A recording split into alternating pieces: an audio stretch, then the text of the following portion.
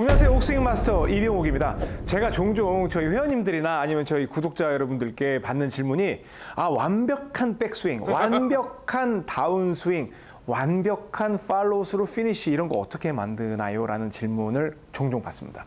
근데 완벽하다라는 거에서 우리가 접근을 잘못하는 게 아닌가 생각을 해봅니다 골프라는 운동은 인간이 하는 겁니다. 그리고 스포츠예요. 스포츠는 완벽이라는 게 있을 수가 없죠. 만약에 스포츠에 완벽이라는 게 있다면 우리는 그 스포츠를 즐기지 못할 거예요. 실수도 하고 고통스러워도 하고 거기서 그걸 극복한 거에서 기쁨도 얻고 그럴 때 느껴지는 게 스포츠거든요. 그래서 거기서 우리가 행복을 찾게 되는 거잖아요.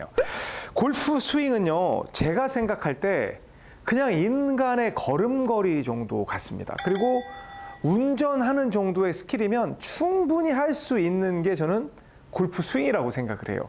그런데 우리가 걸음걸이를 보면서 어, 저 걸음은 완벽해. 어, 저 걸음은 좀 이상해. 안 좋아. 막 이런 식으로 분석하지 않는단 말이에요. 근데 제가 좀 요즘 세태에 좀 아쉬운 게 뭐냐면 골프 스윙을 볼 때 너무 숫자에 집착을 합니다. 그러니까 스포츠를 그 방향으로 즐기는 분들이 있을 수도 있죠. 그냥 숫자 공부하고 여기 올라갔을 때 각도가 몇 도가 되고 선수들을 봤을 때 여기가 몇 도가 되고 몇 도가 되고 막 이렇게 분석하면서 따라하는 거. 뭐 그런 걸 좋아하는 분들은 그렇게 연구를 하면 되지만 제가 생각하는 골프 스윙은 그런 걸로 해결되지 않는다고 생각을 합니다.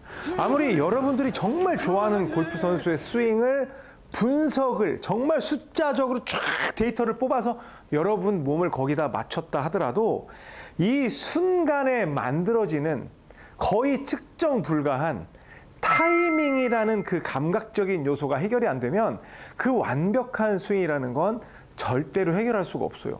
그래서 제가 항상 여러분께 막 웃자고 얘기하잖아요. 이렇게 있는데 이렇게 쳤어요. 근데 공 한번 보세요, 지금. push draw 나서 완벽하게 이건 진짜 완벽하게 가운데로 떨어졌어요 진짜. 172 나가고 오른쪽으로 날아가서 가운데로 떨어졌어요. 근데 여러분 이 스윙 눈 뜨고 보실 수 있어요? 필드에 나가면? 제가 이런 거 가르쳐 드린다면 여러분 하실 수 있어요? 그런데 완벽하진 않아도 완벽한 흉내를 내는 가서 낮고 막 이런 거 하고 이렇게 갔어요. 그랬더니 아 왼쪽으로 그럼 어떤 게 결과적으로 더 좋은 거예요? 그렇죠? 그래서 골프 스윙은 여러분이 생각하는 것처럼 각도로 절대로 분석할 수가 없어요. 옥 선생의 전매 특허라고 할 수 있는 방법이 있어요. 이거는 그 스윙의 모양이 아니라 방법론적인데 제가 저희 회원님들이 오시잖아요. 그러면 뭐 완전 상급자는 그러지 못하지만 거의 누구나 한 첫 번째, 두 번째 레슨은 공을 왼발 쪽에다가 두개 합니다. 왼발 뒤꿈치에 두개 하고 스탠스도 완전히 오픈 setup을 시켜요. 그래서 타겟을 인지하게 합니다.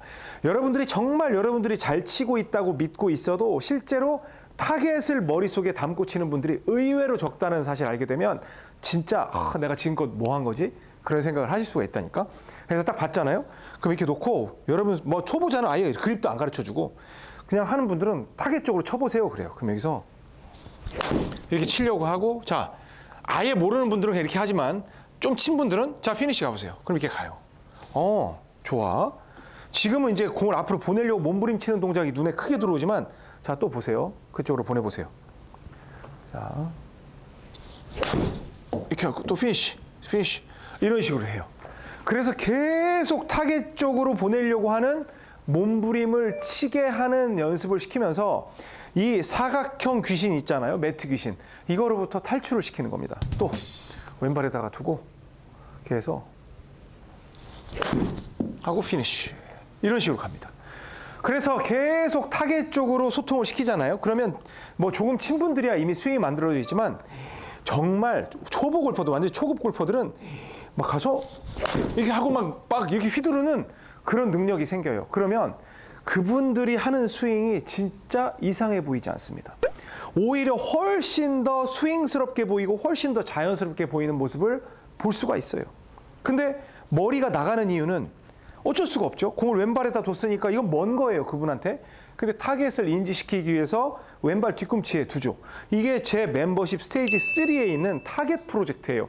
타겟 인지 능력을 완전히 키우겠다. 완벽하게 세팅, 그냥 그 완벽이라는 게 뭔지 모르지만 진짜 거기에 몰입이 될 수 있는 정도까지는 훈련을 시키고 옥스윙으로 넘기겠다라는 게 제 의도거든요.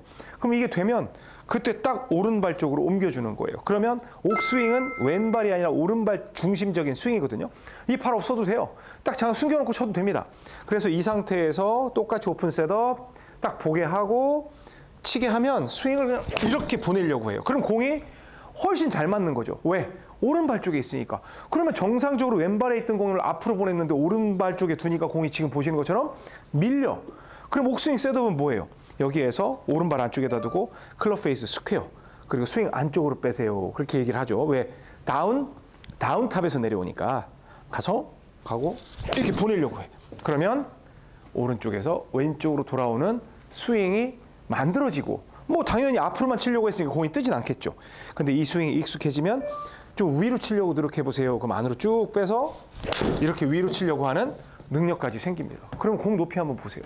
이렇게 쭉 올라가서 떨어뜨릴 수 있는 능력들을 기를 수가 있다는 거예요. 그리고 며칠 전에 마스터스에 스카리 셰플러가 우승했잖아요. 그 선수 발 돌아가는 거 보고 막 스윙 여기서 보면 이런 식으로 치는데 이거에 대해서 누가 뭐라고 하는 사람 없잖아요. 그 선수는 쇼 게임이 정말 완벽하고 거의 퍼팅은 클러치 퍼팅 능력은 지금 현재 컨디션으로는 최고인 것 같아요. 그러니까 막 무슨 뭐 더블 보기를 치고도 그 어, 파5에서 two on 시켜놓고 정말 먼 거리인데 그것도 이글 펫 잡아내고 그러니까 퍼팅이 유독 좋은 선수인 거죠. 그러니까 그 선수에 대해서 누구 아무 말도 말 못하잖아요. 뭐 제가 해설한 분 얘기 들으니까 아, 저 동작은 저 선수만 할 수 있는 거라고. 근데 누가 뭐라고 합니까? 그럼 그 선수 스윙은 완벽하지 않고 완벽해서 뭐 우승하고 우승 못하고 그렇습니까? 여러분 너무 이 스윙 메커니즘에 매몰되지 마십시오. 그렇게 된다고 해서 여러분들이 잘 칠 수 있는 게 아닙니다. 옥스윙을 해보세요. 옥스윙은요 정말 놀이스럽게 큰 움직임 없이 오른발에 뒀기 때문에 치기 쉽고 가까이에 있고 들어서 치면 공이 잘 맞을 수밖에 없는 그런 원리로 여러분께 접근을 하고 있어요. 그래서 옥스윙으로 잘 풀어지면 conventional 쪽으로 옮겨가도 되는데 그곳에 갔다 왔던 분들은 다시 다 옥스윙으로 옵니다. 왜? 굳이 거기까지 안 가도 나는 골프를 잘 칠 수 있다라는 확신을 얻기 때문에 그렇습니다. 아셨죠? 옥 선생의 옥스윙은 정말 우리 일반 골퍼들에게는 오아시스입니다. 물을 마셔보면 아실 거예요. 용기 내서 시도해 보시기 바랍니다. 지금까지 옥스윙 마스터 이병옥이었습니다. 고맙습니다. 골프 용품은 옥스윙몰에서 좋아요, 구독은 덤.